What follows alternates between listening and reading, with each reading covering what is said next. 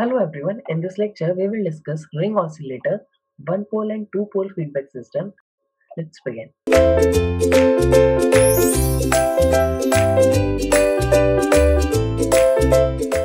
Ring oscillator consists of a number of gain stages in a loop and to arrive at the actual implementation, we first begin by attempting to make a single stage feedback circuit to oscillate. Now in the figure it is shown a one pole feedback system. It is seen that the open loop circuit contain only one pole, thereby providing a maximum frequency dependent phase shift of 90 degree. We have already seen in the earlier lectures of unit 3 that there is a one pole in the circuit then it provide a uh, phase shift of 90 degree. Since the common source stage as shown in the figure exhibit a DC phase shift of 180 degree due to the signal inversion from the gate to the drain so the maximum phase shift, total phase shift will be equal to 270 degree. So thus the, loop therefore fails to sustain oscillation group. Okay, as we have already seen in the earlier lecture, for an oscillation to grow, we need a phase shift of 360 degree. Okay, but in this common source stage, having a one pole feedback system, the total phase shift is provided to be equal to 270 degree. So thus this particular one-pole feedback system loop fails to have sustained oscillation growth. Now, let us see two-pole feedback system. The two significant pole appears in the signal path. You can see there are two capacitors we have used. So thus two significant poles appear in the signal path which allows the frequency dependent phase shift to approach at 190 80 degree. Okay, because 90 plus 90 will be equal to 180 degree. Unfortunately, this particular circuit exhibits positive feedback near zero frequency due to the signal inversion at each common source stage. So as a result, it simply latches up, okay, rather than oscillate. It tries to grow, but it simply latches up, but rather than oscillation. Okay, so in two-pole system, this has a phase shift of 180 degree, but it also has a positive feedback near zero frequency due to the signal inversion through each common source stage. So as a result, it simply latches up rather than oscillate. Okay, so what we do to have our common source stage oscillate? So we have done this two-pole feedback system with additional signal inversion. We will study some more topologies of ring oscillators that is three stage and four stage.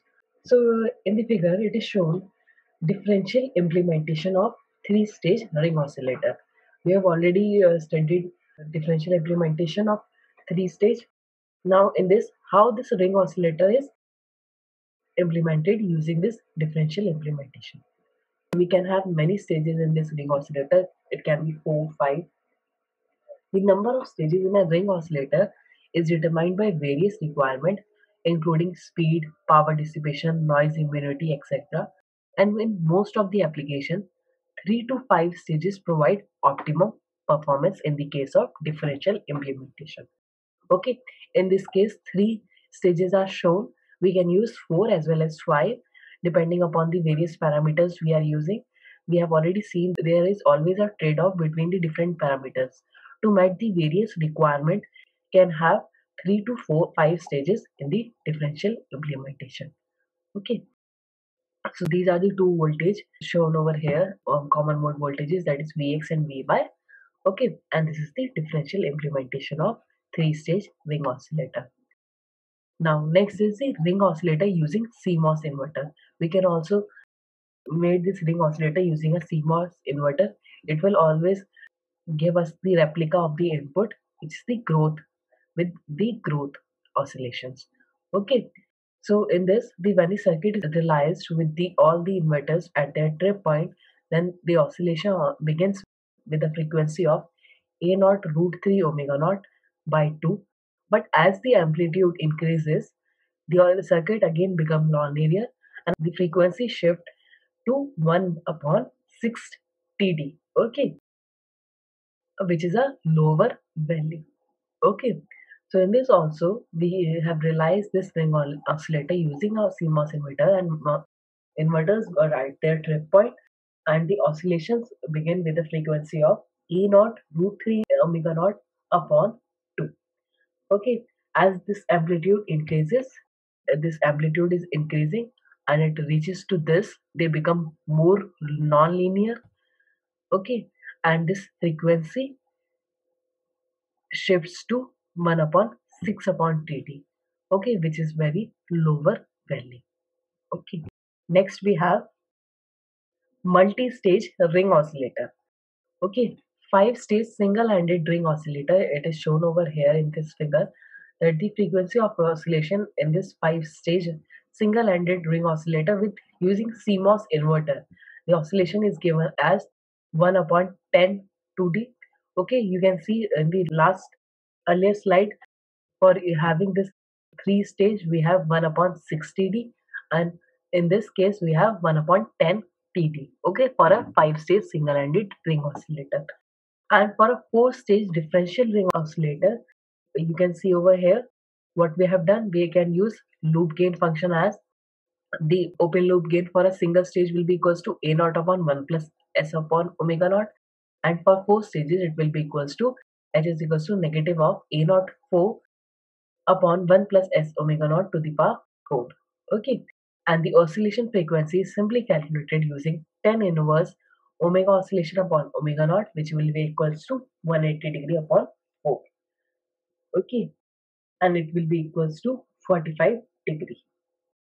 Okay. Because we are using four stages. Okay. We want our total phase shift to, to be equals to 180 degree so for a single stage it will be equals to 180 degree upon 4 okay. And it will be equals to 45 degree. And we solve this value for omega oscillation and it will be equals to omega oscillation. It will be equal to omega naught.